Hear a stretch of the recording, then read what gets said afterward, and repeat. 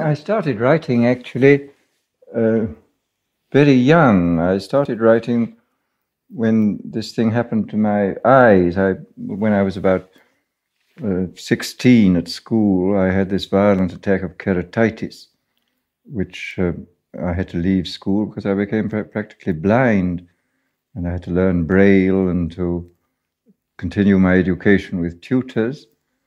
And during that time, I, I, learned to use a typewriter. It was the only way I could write. And then I started um, to write. I actually wrote a whole novel at that period, which um, I never subsequently read. And uh, um, this has disappeared. I rather regret that it has disappeared because I would be interested to know what it was like now. It was a sort of romantic. Uh, it wasn't very romantic. It was a rather bitter novel about uh, a young man's relationship with two different types of women, as I remember it. I discovered that I liked writing, that I had a certain gift for it. And um, I had, of course, before I went blind, uh, intended to become a doctor. I presume if I had gone on with that, I would have gone into medical research because I don't think I would have been a very good practicing doctor, but I might have been a fairly good uh, medical researcher. But why wouldn't you have been any good at medical practice? Um, I would have been good enough in sort of personal relationships, uh, which I think are tremendously important with uh, in a good uh, good doctor. I mean, uh, I was diffident and shy and awkward then. I think I've slightly improved with age, but um, uh, I don't know that I would have been very good. But um, I think I would always been very interested in the research part of the thing. But anyhow, I couldn't go on with that kind of scientific career because I couldn't use a microscope or do any of the necessary work in the laboratory. Uh, so that this determined uh, the, my choice of a career that I had to go into something else. And then I discovered that I could write and that I did like writing. And from that time on, I, I, always wrote a good deal. I wrote when I was an undergraduate. I wrote a lot of verse in those days. And then I also wrote a certain amount of prose.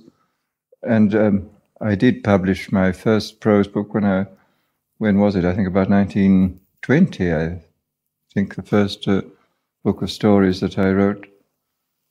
How did you come to publish? Did you already know publishers or did you write to them?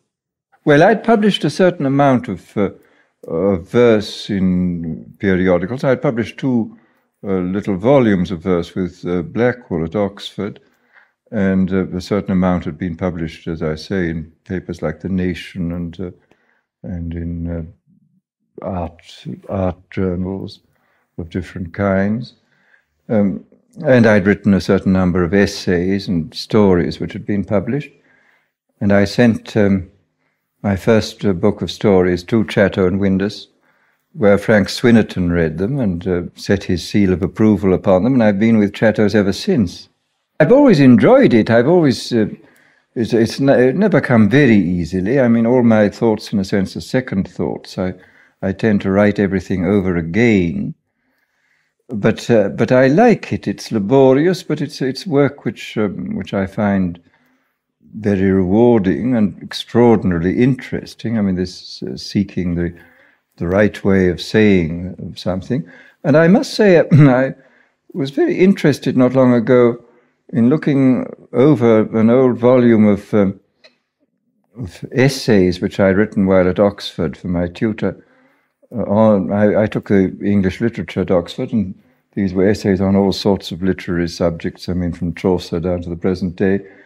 And I was interested and surprised to find that uh, I was writing quite well at that time. I mean, that I had uh, a certain feeling for style, and that there was a, even a certain elegance in uh, what I was doing, even at the age of, of 20, that I, I had obviously some kind of natural gift for writing. Uh, and although, as I say, it's always been uh, a considerable work for me. I mean, it's, it's this. Uh, I, I, never get the results I want, except as a result of, uh, of careful correction and going over and rewriting.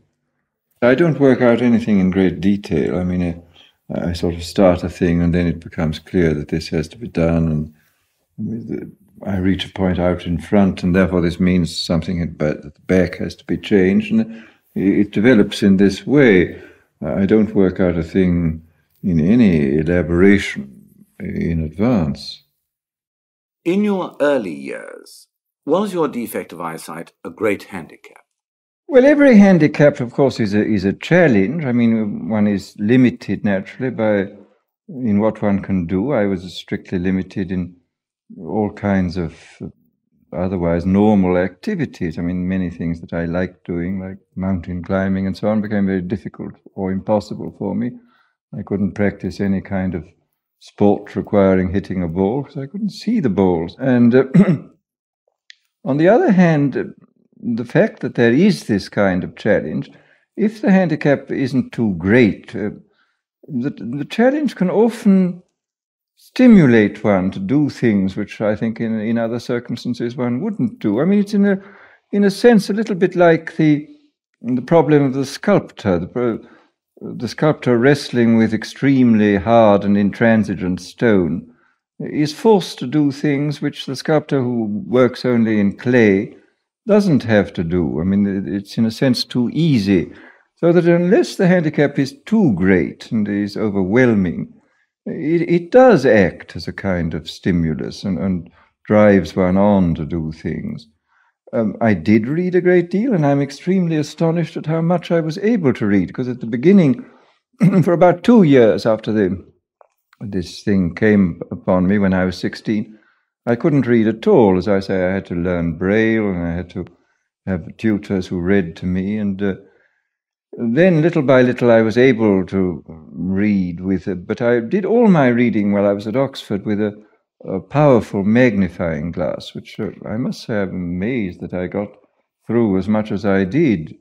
It must was obviously always rather tiring this uh, whole process, but uh, I managed to do it, and uh, I suppose I've always had a, a passion uh, for knowledge and a certain gift for coordinating facts. I mean, this is what interests me. Um, in writing, in, in expression, in thought, is the, the attempt to coordinate different fields, the attempt to say many things at the same time, the attempt to bring together into a single coherent and meaningful whole a great many apparently disparate uh, events and, uh, and data. Um, this has uh, been the ideal of writing that I've always had, and I think I have a certain gift for it. But and this is what interests me, and and sometimes I I go too far. I get carried away and try to put in too much, and I require then to go back and uh, simplify and cut things out. But uh, I've always, I mean, I, I really don't like the very bare, bald, classical style because it's much, to my mind, hopelessly oversimplified and therefore not true. I mean, life in its uh, reality is incredibly complex and very, very subtle. And therefore, I would think that any form of art which is, is as simplified, say, as the French tragedy of the 17th century, is intrinsically an inferior art. I mean, maybe very, very elegant and beautiful. But if you can do to impose order upon a much more complex uh, mass of material as Shakespeare was able to do, this seems to me intrinsically a superior form of art. And I would say this is true of any kind of art. I mean, isn't this the distinction in the uh, pictorial arts between what is technically known as fine art and uh, and the crafts? The crafts are extremely simple forms. I mean, the form of pottery is exceedingly simple and it can be incredibly beautiful. But at the same time, is it as high a form of art as a great composition where enormous numbers of elements, both formal and uh, literary in the widest sense and emotional, uh, are brought together and harmonized in a great composition? Uh, I would feel unquestionably that the the great uh, composition which brings together and harmonizes many elements is intrinsically a higher form of art than the, the simple, elegant, so called classical form. After all, life is immensely complex. Why pretend that it isn't? I mean, uh, and why not attempt with a sufficient background of, of knowledge and information to make some kind of synthesis, some kind of meaningful pattern of, of a large extent of information. Uh, I find this kind of uh, of new criticism unspeakably boring. I mean, it seems to me so barren and and it's this hideous jargon they've invented. I don't know what it's all about. It just bores me absolutely stiff, this whole thing. Uh, it seems to me so trivial in many respects. Although I, I, think probably some of this work has to be done, this kind of very elaborate and meticulous uh, linguistic work is probably useful. Uh, but to regard it as, uh, as the sort of be all and end all of criticism seems to me absolutely absurd. Are there, in your opinion, any writers who will survive and will be read? Actually, I think the, most exciting people that I read as a as an undergraduate and just afterwards were French writers. I, I got sort of my introduction to French literature at that time. I mean, I read Proust when he first came out in 1914, uh, Du Côté de Chez Swann. Then I read the French poets then. The uh, Mallarmé made an immense impression upon me and still does. I, am still very fond of him. And uh, Rimbaud made an immense impression on me then. No one author has had very great influence over me. I mean, I, I get things out of all reasonably good authors and even out of some bad authors that I read. I used to get a lot out of Proust. I reread him, some of it in the other day and was rather disappointed. I don't know why. I mean, it didn't seem to me that the. I mean, I read the last volume, the Le Temps Retrouvé. It seemed to me curiously remote and uh, unbelievable and unreal. And even the first volume, which I read part of the other day, passages which I thought were very beautiful in the early days, I didn't get very much out of. I don't know why. It's very strange because it it moved me immensely when it first appeared.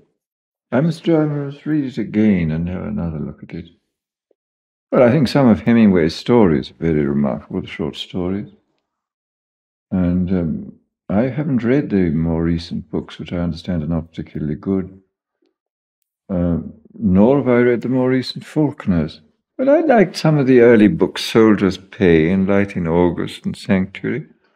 But I, I confess I haven't read anything recently. Joyce, it seemed to me, seemed to think that words were omnipotent. I mean, they are not omnipotent. He was a very strange man. I used to see him sometimes in Paris. This extraordinary,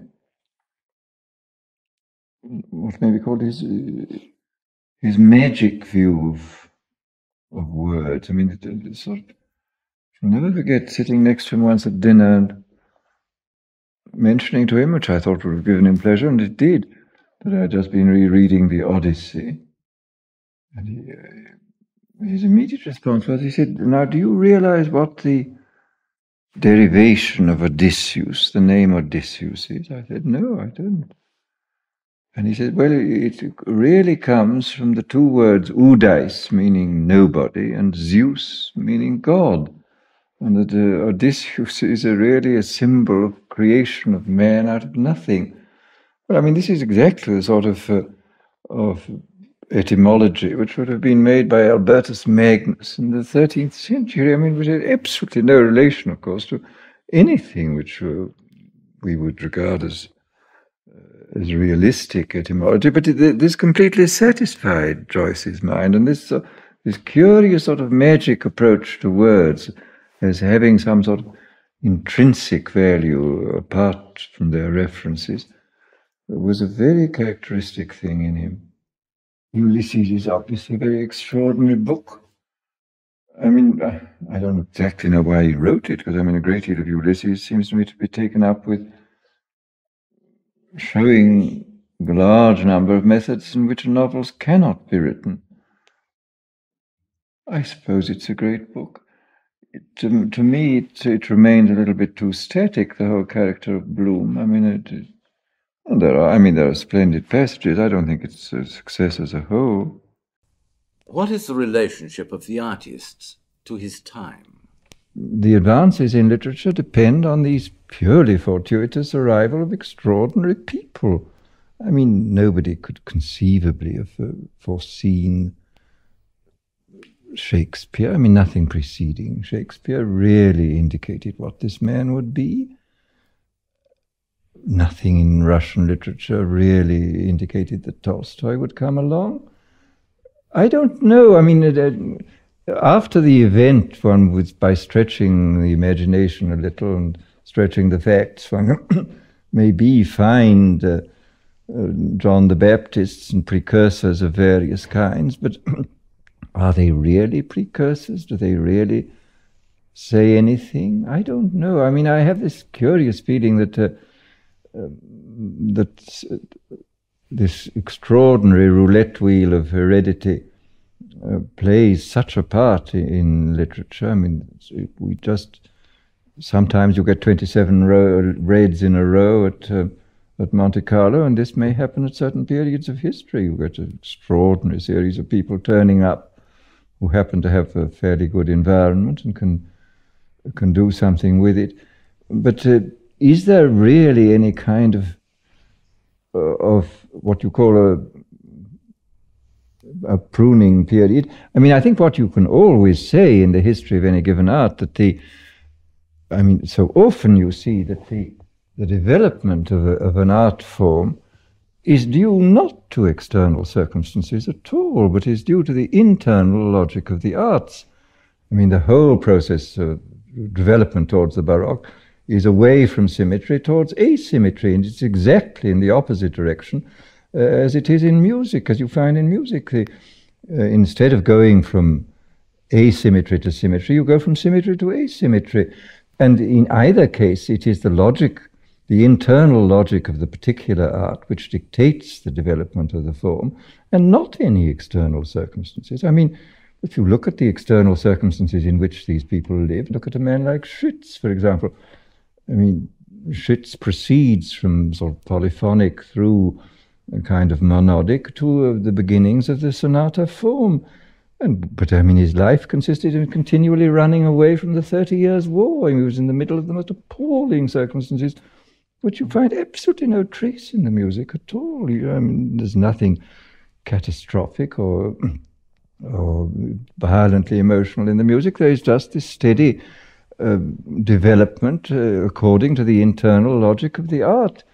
And here again, I mean, uh, one is left wondering what on earth exactly is the relation between art and life. I don't know. I mean, it's it's much much less clear than uh, some critics maintain that it is. I mean, there, there's other factors. I mean, this, this internal logic of the art is of immense importance in the whole history of artistic development and may have very little to do with the external events. Uh, and similarly, the, the pe- peculiar temperament and physique of the artist also has an enormous part to play and has, again, very little to do with the external events the around him. A good many novels seem to me to have singularly little, reference to it. I mean, uh, you go uh, find a lot of novels which are solely dealing with uh, personal relationships in a rather narrow world. Uh, but and again, you certainly find uh, a great deal of evidence of the art forms developing uh, not in relationship to the external world, but in relationship to this, uh, their own internal logic. Again, you have their geniuses and geniuses. I mean, there are some who are content to work within the tradition in which they find themselves, and others who find it necessary to modify that tradition. I mean, after all, take the case of Chaucer. I mean, here you had a man who, out of the blue, really developed psychology I mean, uh, his contemporaries and his predecessors had been interested in psychology finally only from an ethical and religious point of view. They were not interested in the variations of human character as such. They were interested in the variations of human character as determining whether you went to hell or heaven. Uh, and I mean, take the, his greatest uh, predecessor in narration, Boccaccio.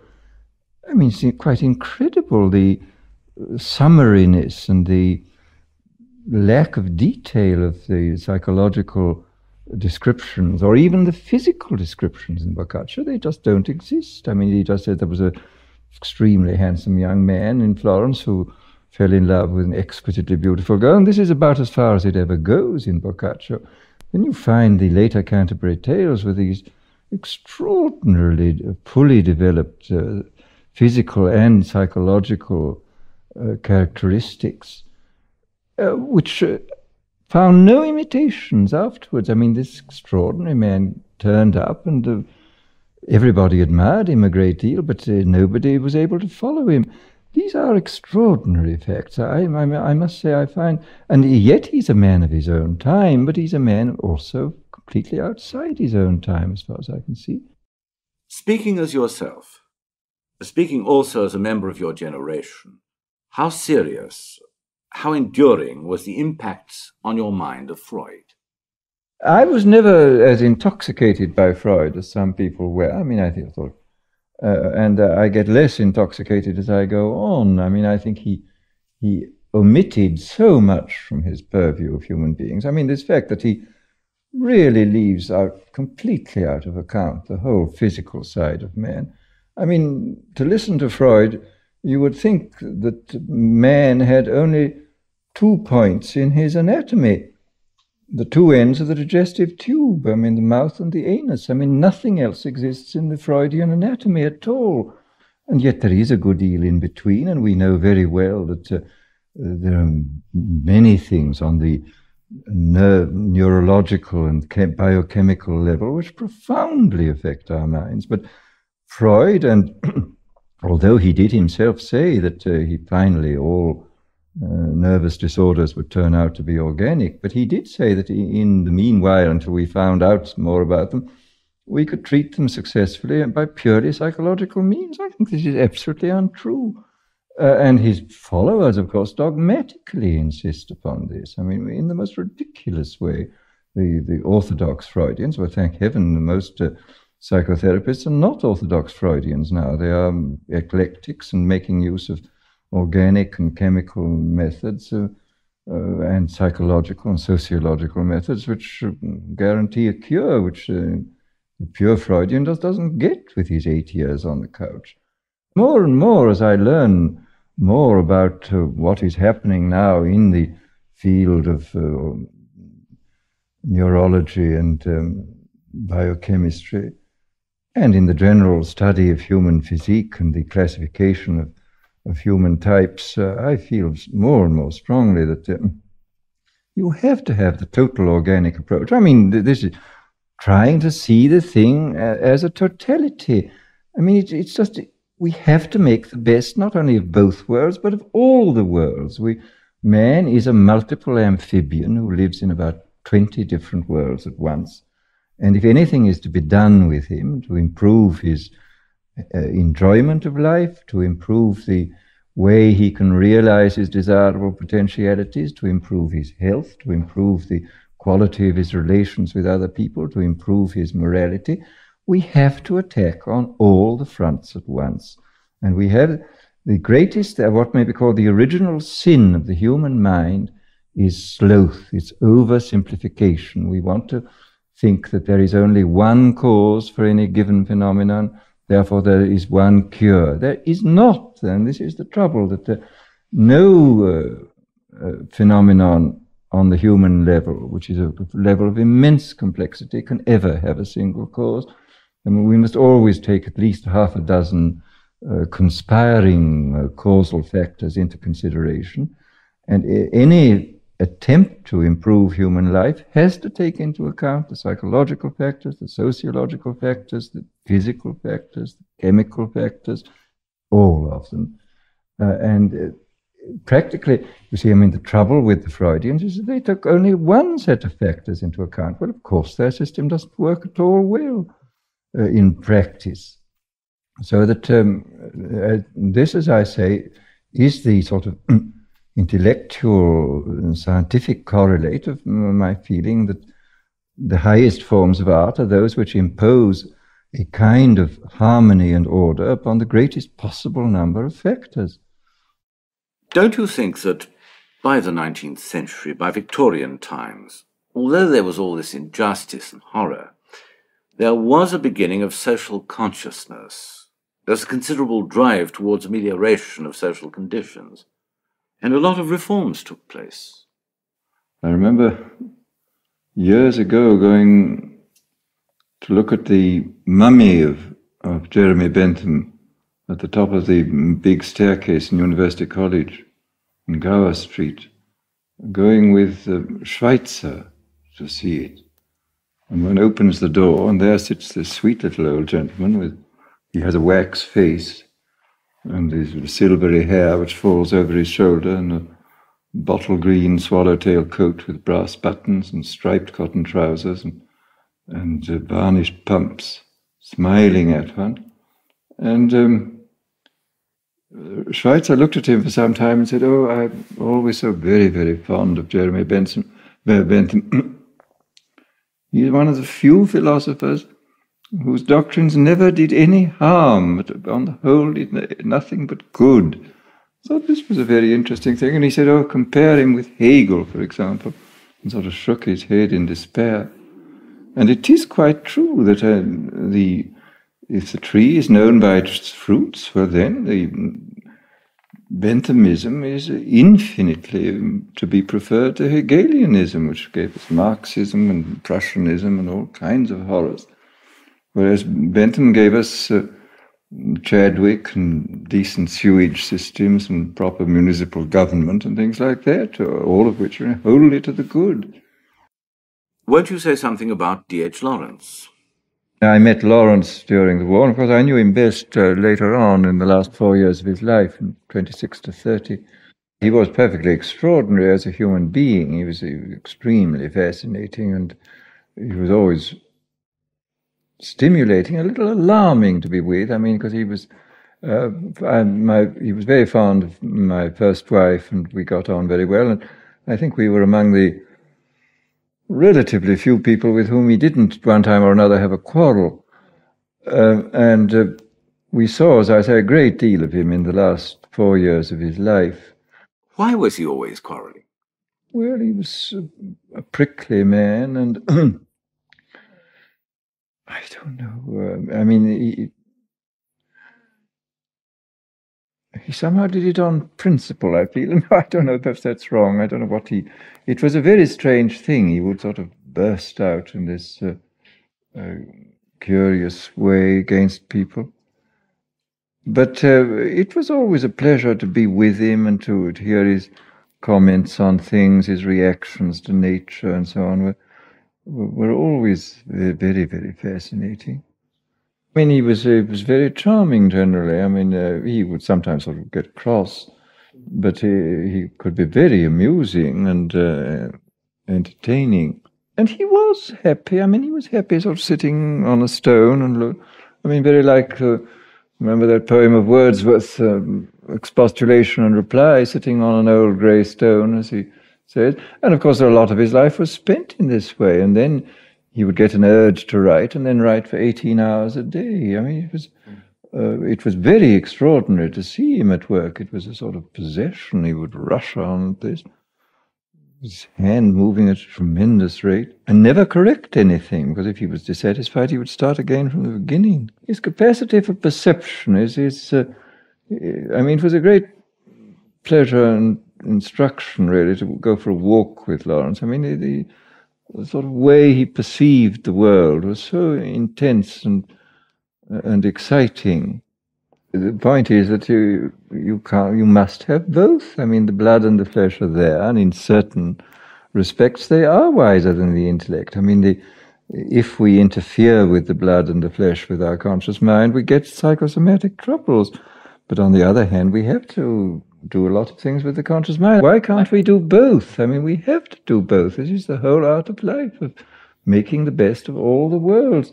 Here again is one of these fatal examples of uh, of uh, trying to make everything conform to the standards of only one world, which is perfectly seeing that we are amphibians. It's no good. These were perverse sides of him. There's no doubt about it. But then, and I think he would have sort of gradually emerged from this curiously one-sided uh, view of life and attempt to make all life conform to one kind of a pattern. I feel now that, you know, obviously the sensual side of man is of immense importance, and but again, this is the the question of making the best of both worlds. This is the the problem: is how do we get it reconcile it with consciousness? How do we become fully aware of it? How do we integrate it into uh, our lives? I mean, uh, this is the important problem.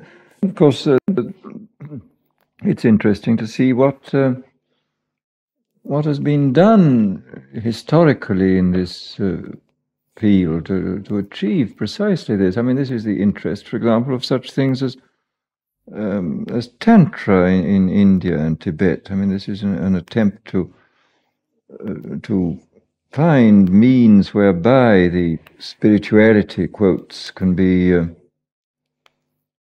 expressed and discovered in terms of the of the ordinary processes of life, including the sensual processes. I mean, th- this to me is the supreme doctrine now. I mean, the whole Mahayana approach of the summing up the uh, of the doctrine which says that nirvana and samsara are one, the uh, the world of liberation and the world of appearances are identical, provided you can find eternity within time. I mean, people like Blake knew all about this, and were attempting to do it. And and this uh, this, it seems to me, is the essence of the of the art of life that um, discovering these methods of finding, so to say, the absolute in the relative, the timeless in the temporal, the spiritual within the world of sense and matter. And I don't think it's impossible. I mean, I think that this is the whole art of living, which, um, again, is part of the of this uh, thing which I feel to be supremely important of making the best of both worlds, of, of uh, finding out how to to harmonize these uh, disparate elements uh, in the human being. And of course, if you had marriage as an institution and this other thing breaking in and smashing the institution, well, then obviously you got into trouble when uh, passion was di- completely divorced from marriage and broke up marriage, well, then necessarily it, it, seemed a kind of diabolic possession almost. I mean, passion seemed, for the, the Greeks uh, spoke about it, I mean, Ate in Homer, uh, meaning the state of mind which leads to disaster. In the, in the uh, tragedians, it just means disaster, but in Homer it means the state of mind leading to disaster. And Ate was a daughter of Zeus, whom Zeus, for his own strange and practical joke like purposes, used to let loose on people. I mean, uh, Ate was the person who blinded Agamemnon into uh, stealing uh, Achilles' girl from him. And he, when he, they reconcile, he apologizes and says, But it wasn't I who did it, it was Ate who did it. and uh, um, Achilles says, yes, of course it was. Ate is really very serious. And, uh, and if you had this idea, I mean, the, the, the, sexual passion was just one of the manifestations which uh, the, this mischievous daughter of Zeus who could uh, possess you, uh, one of the ones that she imposed uh, upon human beings. They can now blame it, fortunately, on uh, their complexes and the, well, the mothers having not weaned them properly or something of the kind. I mean, uh, in fact, it is now the conception of the unconscious, isn't it, that we use instead.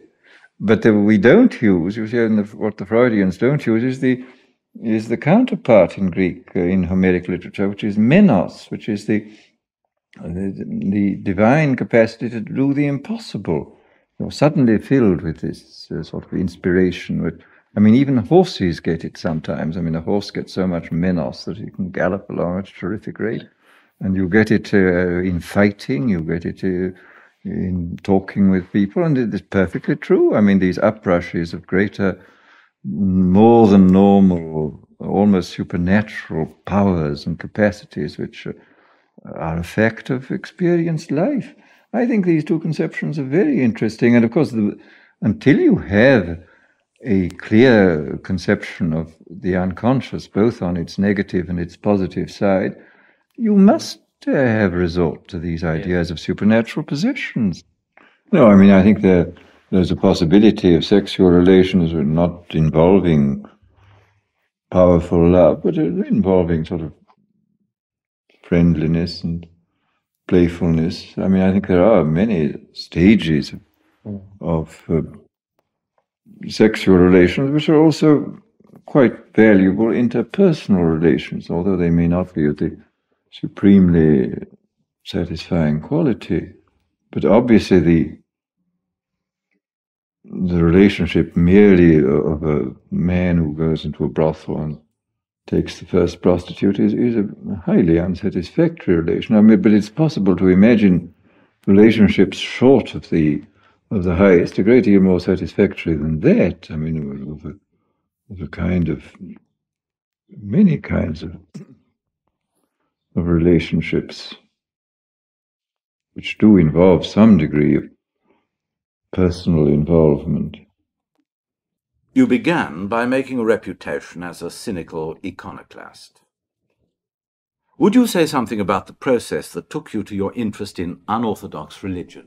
I was always interested in the descriptions and uh, philosophies of the mystical life. I remember as an undergraduate um, reading Jacob Böhme and having various uh, Catholic friends who were inter- who knew a certain amount about the mystical tradition in Catholicism. And um, I read a fair amount at that time. Then I, with sort of mixture of admiration and hostility. With derision? Not with derision, but with, uh, with a good deal of skepticism and uh, um, with a great deal of fascinated interest. And then when I came to read more and meet numbers of people who knew about Oriental material, read a good deal of that, and uh, came in touch with men who'd um, had first-hand experience. And this interests me very much. I mean, again, this is making the best of both worlds. This uh, utopian fantasy I've just finished is about a society in which, owing to historical accidents, there has been a mingling of Western with Oriental influences, uh, so that the, both sides are, are, developed and an attempt is made to, to get the best out of both sides. Many serious uh, philosophers like Northrop, for example, The Meeting of East and West, it's a frightfully dull book, but it's a, it's a genuine, serious attempt to make some kind of a synthesis. But aren't Eastern ideas and presumptions utterly different from ours? After all, in the past, there have been plenty of syntheses between East and West. I mean, the Christianity was one, after all. Neoplatonism certainly got a good deal from the further East, which became a very important stream in Christianity. I don't think they are utterly different. I mean, did you read a book which I, I think is a very good book by this Englishman who's lived for many years in Japan and taught there, Blyth, called Zen in English Literature? A very good book and pointing out, uh, I mean, how much there is in English literature, which is profoundly Zen-like. I mean, Wordsworth is full of Zen, and Whitman is full of Zen, and many, many people have this sort of attitude towards nature.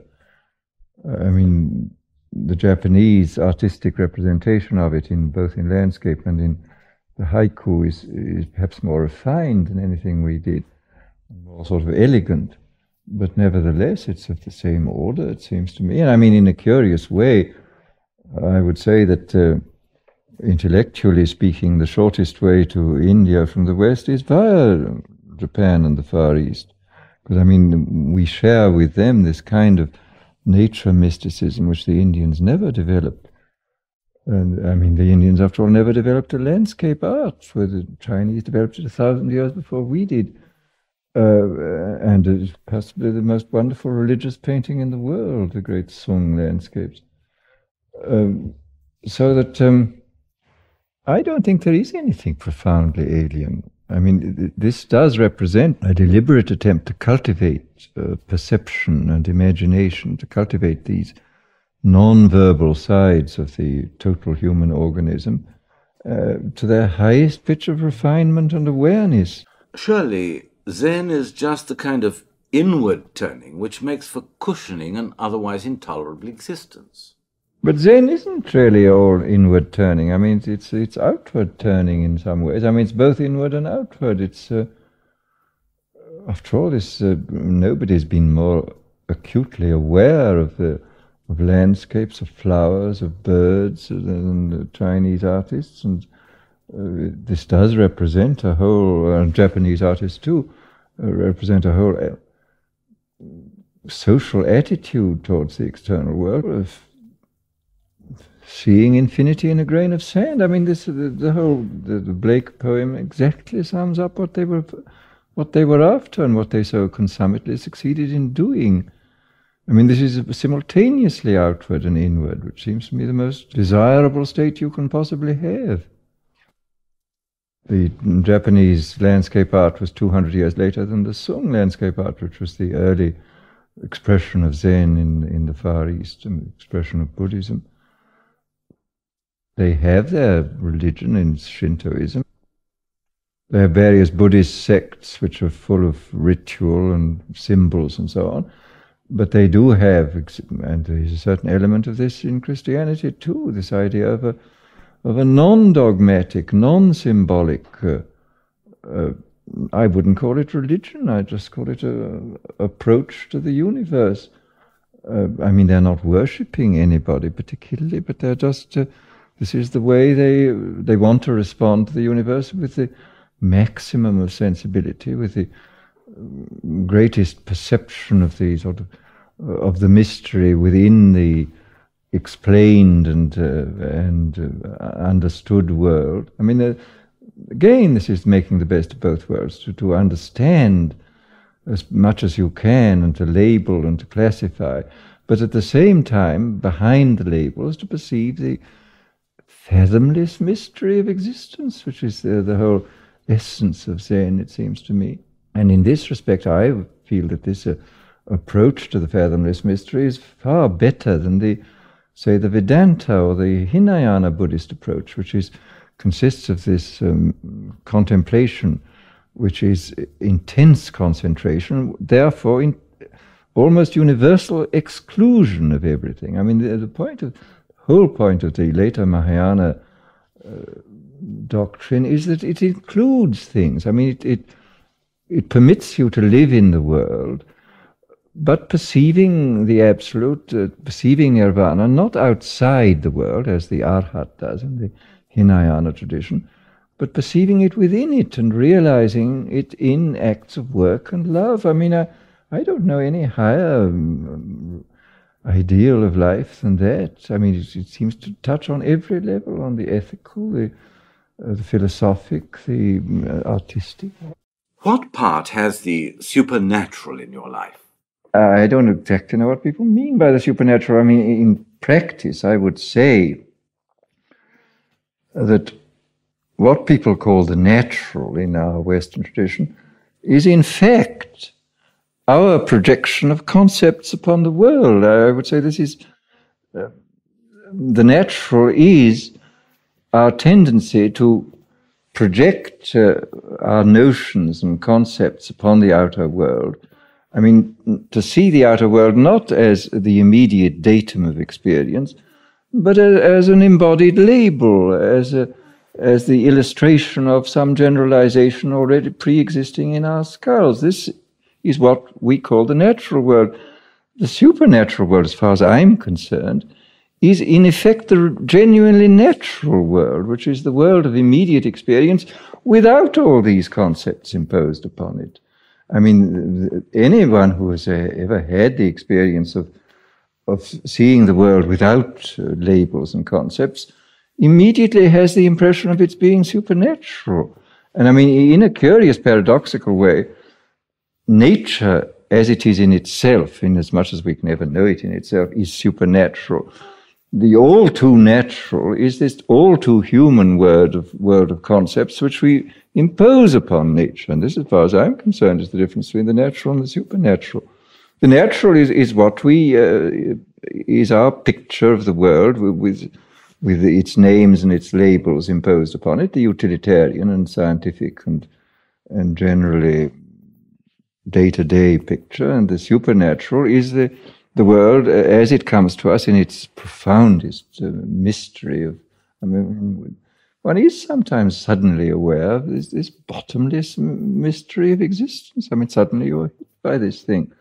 If you choose to call this the supernatural, and I don't know what other sense it has. I mean, I don't believe in mysterious beings going around and arranging things, but I, I do believe in the in the profound, unfathomable mystery of life, which I think has a sort of divine quality about it. I think there is a mysterious being, but whether he goes around arranging things is another question. I don't, I don't, I just don't know. I mean, uh, I think one can be complete uh, agnostic and a complete mystic at the same time. I don't see any incompatibility with mysticism and the most skeptical scientific approach. I mean, the there's no incompatibility, there's no incompatibility between being a biochemist and having a taste for music. I'm entirely on the side of the mystery. I mean, uh, any attempt to explain away the mystery is ridiculous. This fundamental, everyday mystery of our existence is the something which we mustn't try to avoid through intellectual explanation. We have to have intellectual explanations, but we have to be perfectly clear that they're, they're not uh, completely satisfying, that we must never take these words too seriously. Words are very important, but they, if we take them too seriously, we destroy everything. But uh, if we can somehow learn to make the best of both worlds, the world of conceptual explanation and the world of immediate experience, the world of the mystery as it's actually given, then we have a full and complete life. Otherwise, we have a, either the life of the sort of savage without any intellectual side at all, or else the so called life of reason, which is wholly unsatisfactory. We have to have both. We must make the best of both worlds. And the Greeks did pretty well up to a point, but I mean, the Greeks had their appalling limitations. I mean, the, their whole view of women was utterly uh, unsatisfactory. They had no view of uh, an adequate kind of marriage, no view of a, a, permanent love relationship between the sexes. I mean, in that way, they were frightfully limited. But in other ways, I think they did handle the problem of the irrational very well. I don't know enough about uh, older civilizations to, to, to know which uh, did it well. I mean, I think Many of them obviously did it pretty well. I mean, I suppose the Chinese did it pretty well. But though uh, I'm quite sure that uh, we could improve upon it, I don't think we do it very well. And we have such bad symbols. I mean, we have really no great symbols now. these, all that we have are these ridiculous nationalist symbols like flags and swastikas and whatnot. But uh, no sort of great cosmic symbols. I mean, when you think of the staggering symbols that the Indians produced. I mean, the, the dancing Shiva, for example, we've never produced anything as comprehensive as this. The dancing Shiva, those little bronze statues. It is the, the Shiva with four arms dancing with one foot raised. Uh, and, well, I mean, I go into the details, they're really quite extraordinary. It's uh, the, the figure stands within a great circle, a sort of halo, which has flames going out, I mean, the symbols of flames. And this is the, the circle of uh, mass energy, space, time. I mean, this is the material world, the great world of the all embracing material world with its flames, which are energy. Within this, Shiva dances. He's called Nataraja, the Lord of the dance. And he dances, he's everywhere in the universe. I mean, this is, this is his dance. The, manifestation of the world is called his lila, his play. It's, uh, I mean, he sends his rain upon the just and the unjust, and he's not he's beyond good and evil. Of course, it's all an immense manifestation of play. Uh, his uh, he has this long hair, which is the hair of the yogi, contemplative, and it streams out to the limits of the universe. You see, therefore, he this sort of yogic knowledge of this contemplation includes everything. He has four arms. In the upper right arm, he holds a little drum, which is the drum which summons things into creation. You beat upon this drum and things come into existence. In his left arm, he holds a fire, which is what destroys everything. He both creates and destroys. His uh, lower right hand is held up in this attitude, which means be not afraid in spite of everything, it is all right. The other hand points down at his feet, and one foot is planted squarely on the back of a repulsive dwarf, this infinitely powerful dwarf called Muyalaka, I think his name is, who is the, uh, the ego. And he has to break the back of the ego, you see. The, uh, what he's really pointing at is the other foot, which is raised. And this means this foot is raised against gravitation and is the symbol of um, spiritual contemplation. The whole thing is there, you see. I mean, the, the world of space and time and matter and energy, the world of um, creation and destruction, uh, the world of psychology. I mean, how do you get out of this? I mean, if you don't break the back of the ego, you're lost. And if you don't uh, uh, practice um, contemplation, uh, there will be no liberation for you. I mean, it, it, we don't have anything remotely approaching such a comprehensive symbol, which is both cosmic and psychological and spiritual. I mean, it is really most unfortunate that we have such miserable uh, symbols. It's part of uh, the regular Hinduism, but it is specifically Shivaite. And then one of the manifestations, of course, is called Bhairava of Shiva, who is also dancing, but he dances in cemeteries. And I mean, to remind us that um, the dance of life isn't always very jolly. I mean, that he dances just as much in in misery and death as in life and elation. I mean, this has to be accepted. And of course, again, it's only by the lifted foot that we can accept it.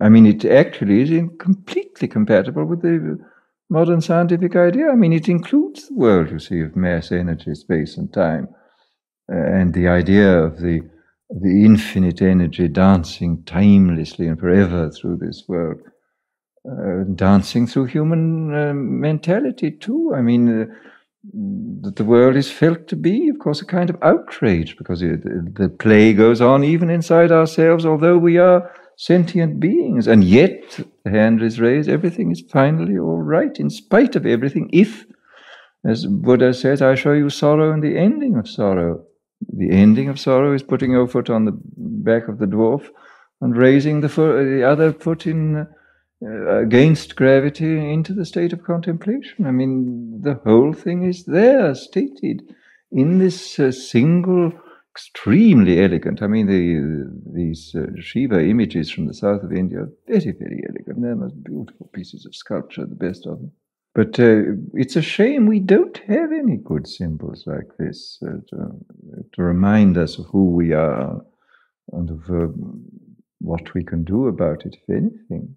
No, we're very, very poor in it. I mean, we have some of the Christian symbols, which are not really, satisfactory. I mean, the symbol of the cross is, is fairly good, but it's, it's, uh, it doesn't take into account the sort of cosmic side of life. I mean, it doesn't take into account mass, energy, space, and time which is essential, It doesn't take into account, I mean, as it stands, it doesn't take into account the uh, importance of uh, contemplation. No, it's, uh, I mean, we, there are other symbols, of course, within Christianity which do, but a, a single comprehensive uh, symbol like the Shiva symbol we do not have, and it's very unfortunate. This whole business of the of the organized um, manipulation of um, symbols is, I mean, the, the, the, human mind is a, a symbolific instrument. I mean, it, exists to manufacture symbols, to turn immediate experience into symbols for the purpose of managing it with in a fairly convenient way. Uh, the question is, uh, can we get on with uh, fairly scientific symbols, realistic symbols, and then uh, concentrate on the immediate experience. I don't know. I mean, I, I simply don't know whether this is a possible as a sort of general uh, attitude towards the world. I think it's certainly possible in, in, in isolated individuals, but uh, whether in fact it will ever turn out to to be something which appeals to great numbers of people, I have no idea. But surely, by its very nature, mysticism hinges upon superstition. Can one have the flowering of mysticism without the dung of superstition? I don't know whether you can. Uh, uh there's a very interesting chapter in uh, Conze's book on Buddhism saying that it, as a matter of historical fact, these extremely elevated mystical and philosophical doctrines of the Mahayana have always been associated with the grossest forms of superstition. Can it be avoided? I don't know. I mean, he, he is inclined to think that you don't get the one except growing out of the other. I, I hope it's possible to have a, an aseptic mysticism, but I don't know that it is. I, I think certain people can have it, but whether there can be a sort of general atmosphere on the basis uh, of a, of a non superstitious, non dogmatic set of beliefs, I, have no idea. I, I profoundly hope so, but at, at, certain times I rather doubt it.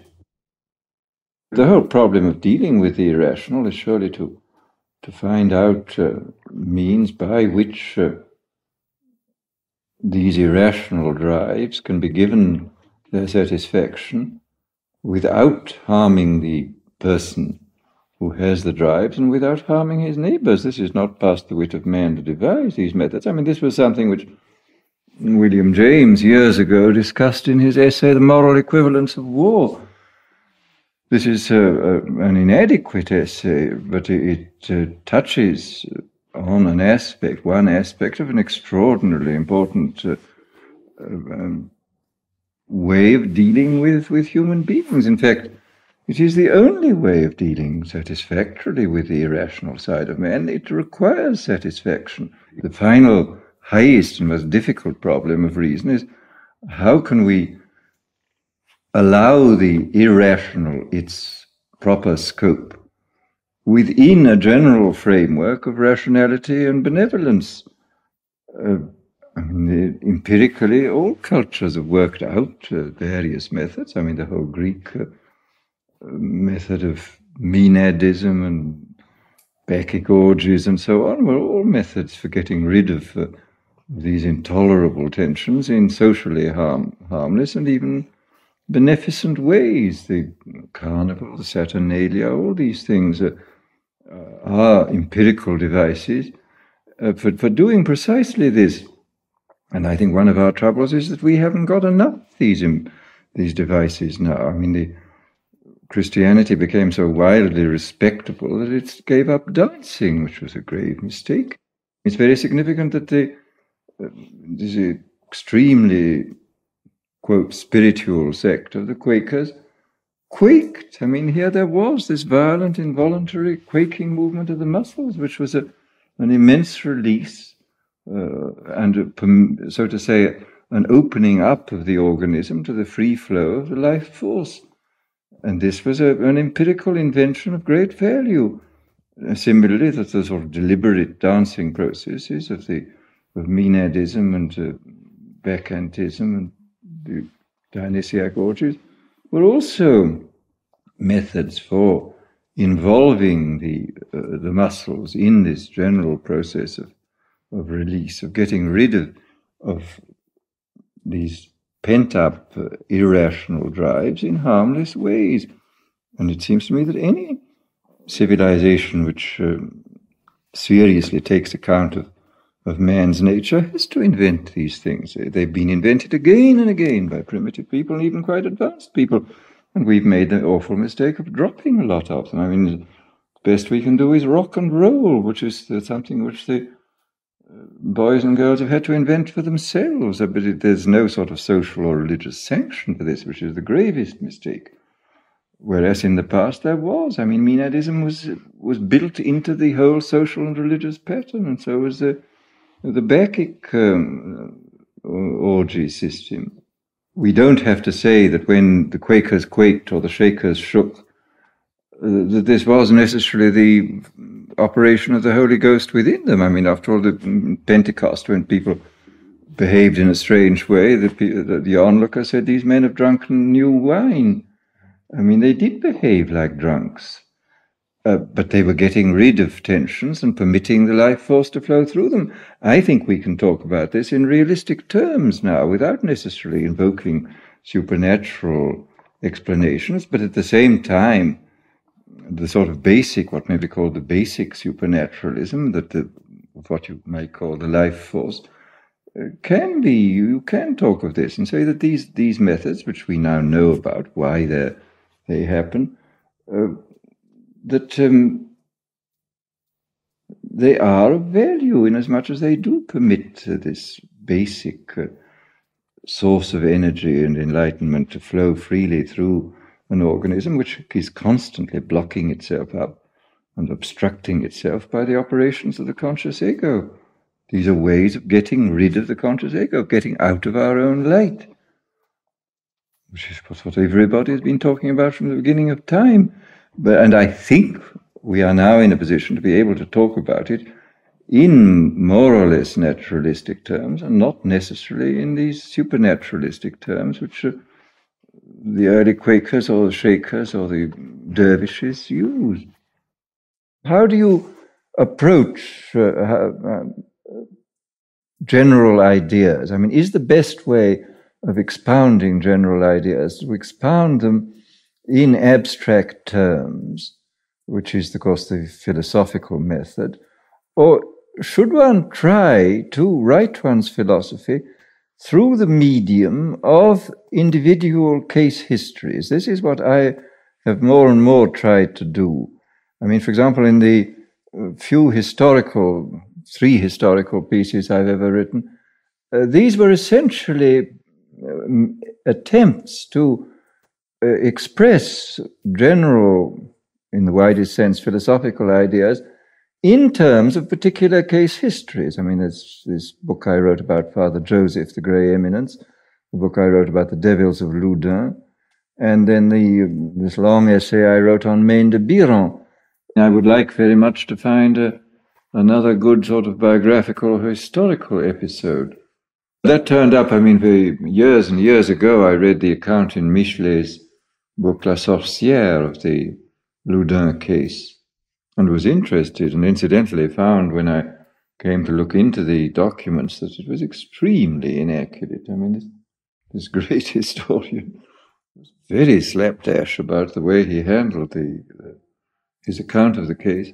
Well, then I thought no more about it for many years, and then quite by chance I picked up in a second-hand bookshop the 19th century reprint in a limited edition of the autobiography of the prioress and uh, one of Surin's autobiographical things, and uh, the late 17th century book by Aubin on the, which is an account of the whole episode. And reading those, I was so fascinated. I mean, there was such extraordinary material there that I began collecting it and found that that in fact, I don't think any historical episode has ever had so much documentation. There are autobiographical statements by the prioress, by Father Surin, great many letters. All the exorcisms were taken down in shorthand. Great many of them are, printed, and of course, a vast number still remain unprinted, but probably I never read any of the unprinted material because I just can't manage those things. But I don't think they would have contributed anything because they most of the exorcisms were very like one another, so that a reasonable cross section of them probably represented the whole fairly clearly. Then there were a great many accounts by outsiders who come to look at the possessions. It became one of the sort of popular tourist resorts in 17th century Europe, and people went from all over the continent to see these nuns rolling about on the floor and screaming obscenities. It was obviously the greatest fun. These nuns, of course, were, were their own lunatic asylum. I mean, the, the whole the whole convent was a lunatic asylum. This screaming and and with these exorcists deliberately keeping the thing up. I mean, the behavior of the exorcists is a degree of revoltingness and bad faith, which is absolutely appalling. After um, Grandier had been burned, they sent for the Jesuits to go, because the, the nuns remained just as much possessed and hysterical as ever. And as the uh, Capuchins had failed completely in their efforts at exorcism, they called for the Jesuits, and among whom was this remarkable, very, very able man, but very unstable, uh, psychologically unstable man. Surin came from Bordeaux, and he undertook not merely to dispossess the prioress, but also to raise her to the highest pitch of mystical perfection. And in the process, himself became psychologically infected and fell into a state of complete insanity in which he remained for 20 years. Finally, emerging, and in the last seven or eight years of his life, becoming one of the major figures in the uh, French 17th century mysticism. And even while he was insane, when he couldn't, I mean, he was so sort of hopelessly down that he couldn't read or write or he could hardly even move, uh, he was able to dictate a, a work of, on the spiritual life, which I've read. It's in three duodecimo volumes of about 1,200 pages admirably well organized, with copious quotations from the Gospels and from the Fathers. This man who couldn't read or write, I mean, showing that the whole of his intellectual faculties were completely intact, while his uh, emotional and physiological condition was absolutely disastrous. I mean, this man was uh, completely incapable of doing anything at all and was, in fact, a raving lunatic which is, of course, one of the strangest facts about mental illness that you, you can have these cases. I mean, I've seen them in contemporary life of, of uh, people whose intellectual faculties are perfectly sound and yet whose emotional life is so disturbed that they have to remain locked up in institutions for years at a stretch. It's one of the oddest paradoxes I find. The whole business of uh, the legal and psychological aspects of witchcraft in the 17th century. Very, very interesting. I read a lot about it at the time. It's very interesting to see how, if you don't have a theory of the unconscious, you're virtually forced into the idea of possession. I mean, though I think all the, the all the exorcists were convinced that this was a genuine diabolic possession. And of course, they were being paid by the government. They were getting salaries. When the publicity wore off and people got bored with it, the whole possession disappeared. I mean, the nuns were under pressure from the exorcists to go on performing. And uh, when the, the, money ran out, because they were being paid a subsidy by Richelieu, and they cut, a, cut the subsidy off after a time, and the public opinion got bored, and they all got well.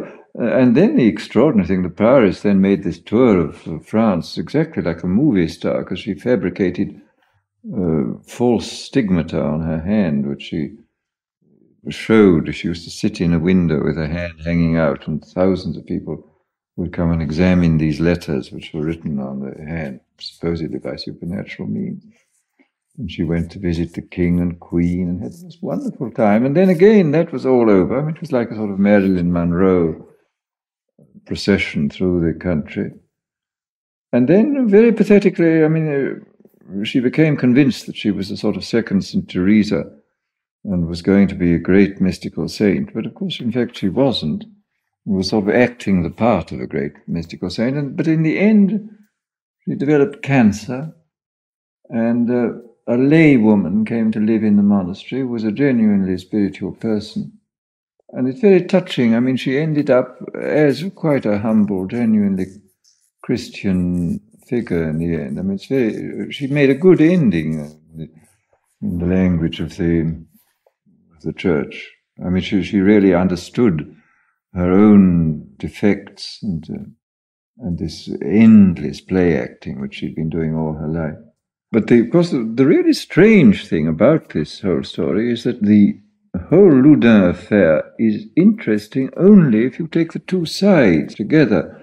If you take the case of Grandier and then the case of Surin, between them, the, uh, the two episodes describe the religious life on every level, the most horrible to the most sublime. I mean, the whole gamut of religious life is set forth in a kind of parabolic form in these two episodes. Now, the really extraordinary thing is that, as far as I know, I was the first person to bring these two episodes together in a single volume.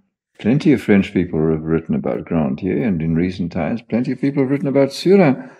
But nobody has thought fit to put the two cases together in a single volume and illustrate this, uh, this uh, fantastic uh, spectrum of the religious life, most revolting to the, through the most equivocal to the most sublime. I mean, this is the the whole sort of, of message of this extraordinary episode that religion is infinitely ambivalent. I mean, that it, it has these wonderful sides to it and these appalling sides to it. The interesting thing to do in discussing it, of course, is to bring out both aspects. And here is a story which is strictly historical, and I really never departed from the historical documents which is at the same time a parable.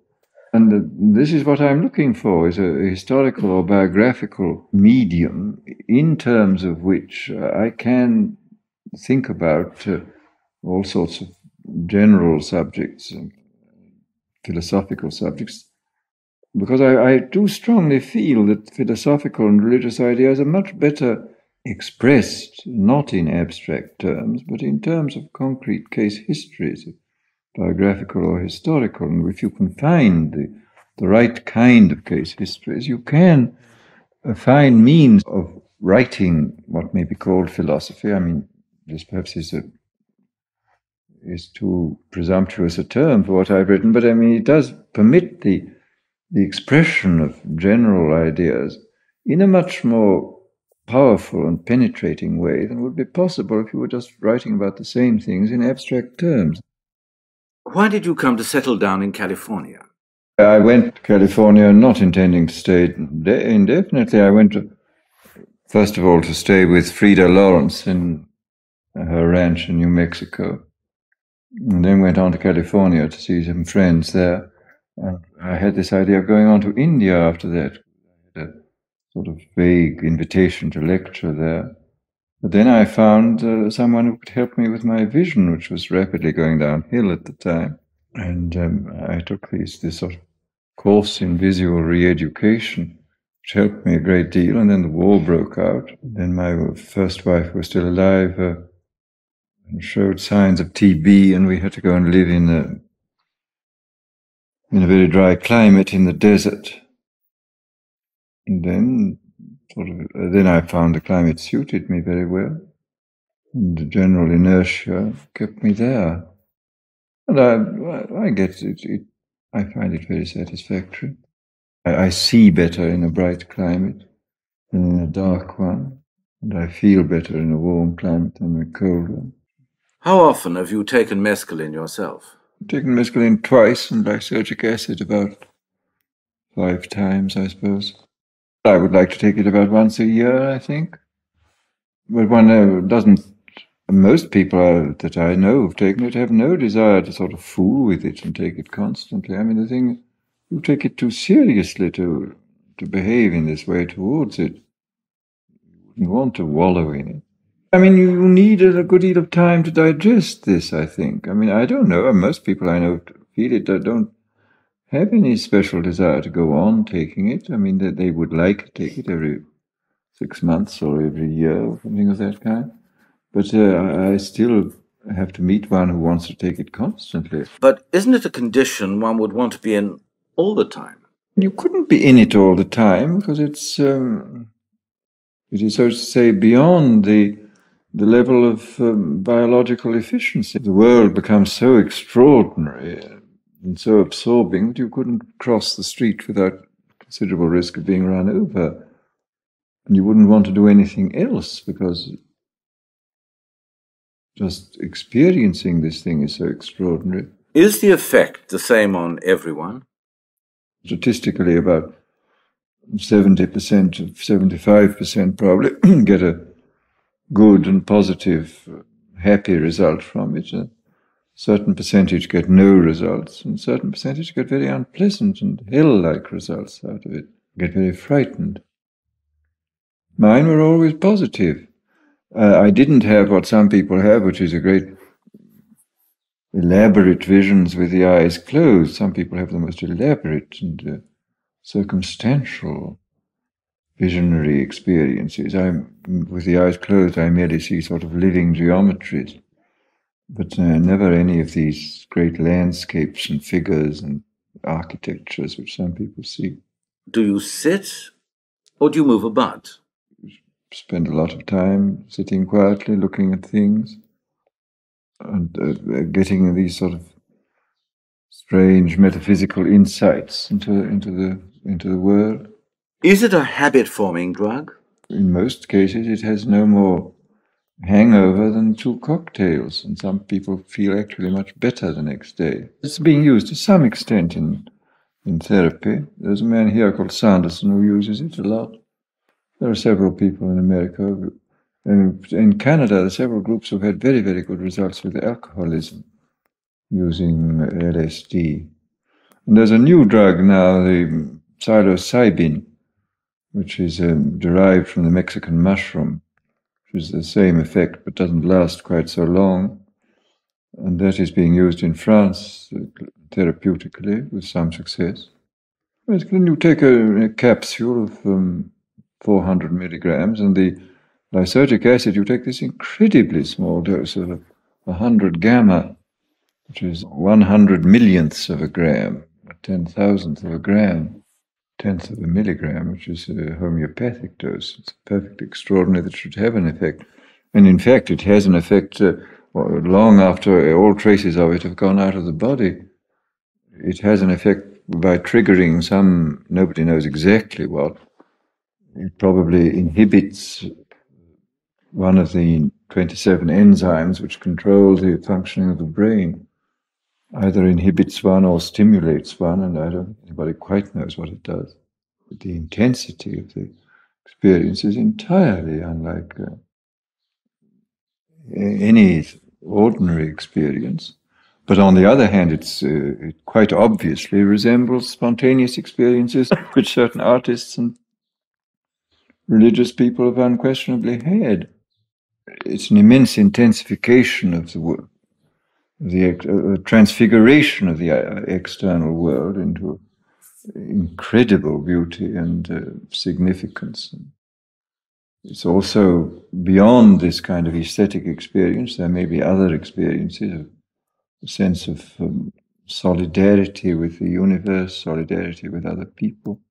Uh, understanding of such phrases as you get in the book of Job, yea, though he slay me, yet will I trust in him becomes quite comprehensible. This thing opens the door to these uh, these experiences, which can be of immense value to people if they choose to make use of them. If they don't choose to, I mean, this is what the Catholics call a gratuitous grace. It doesn't guarantee salvation, or it's not sufficient, and it's not necessary salvation. But if it can be collaborated with and used in a an intelligent way, it can be immense help to people. The sense that in spite of everything, which of course is the ultimate, uh, I suppose, the ultimate mystical conviction, in spite of pain, in spite of death, in spite of horror, the, the universe is in some mysterious sense all right, capital A, capital R.